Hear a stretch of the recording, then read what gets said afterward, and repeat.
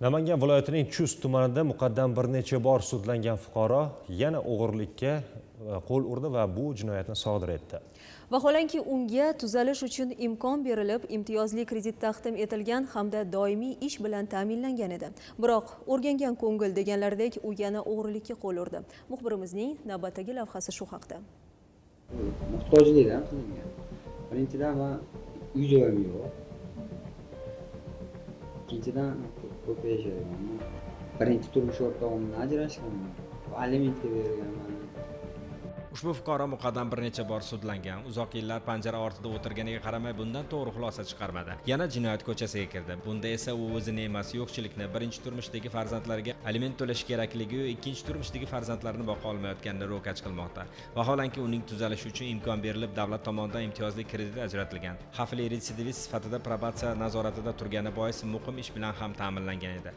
Afsuski u to'g'ri yo'lga o'tishdan jinoyatga qo'l urishni afzal bildi. Bu safar o'g'irlik jinoyati sodir etdi ammo u yolg'iz emasdi. Chust tumani chustnon do'stlarobod mahallasi hududida tungi xizmat olib borayotgan inspektorlar shubhali shaxsni uchratishdi. Azizbek hamkasbim bilan yurgan vaqtimda notanish fuqaroni ko'rib qoldik. Shu yerda notanish fuqaroni e, shaxsiga oydinlik kiritish maqsadida e, o'zimizni bort kitobimizga yozayotgan vaqtimizda bizga shubha uyg'otdi.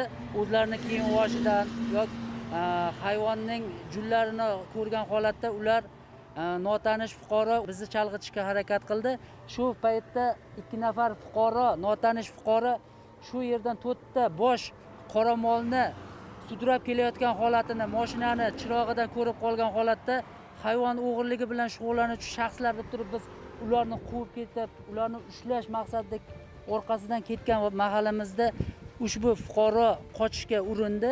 Orqasidan ikki nafar fuqaro ham bu tomondan qochib ketib bu tomonga yugurish natijasida fuqaroni shaxsiga oydinlik kiritib ushlashga muyassar bo'ldik. Man aybdorman albatta pushaymonman chunki nimaga shu ish? Man har tomonlama bir joyga tiqilib qolganman. Oilamdan ham mahrum bo'ldim. To'g'ri man aybimga iqrorman man oppoqman deyapman yo farishta emasman. To'g'ri qildim qildim. Qilmishidan qayta qayta pushaymon bo'lish jinoyatni oqlamaydi. Hech bir jinoyat esa jazosiz qolmaydi. Birovning halol molini o'g'irlagan shaxslarga nisbatan qonuniy chora ko'rildi. Bozor narxi 35 million so'm bo'lgan qora mol egasiga qaytarildi. Hozirda ushbu shaxslarga nisbatan tuman ichki ishlar bo'limi tergov boshqarmasi tomonidan surishtiruv harakatlari olib borilmoqda. Baxtiyor mamajonov ibrohim hamdamov yoshlar.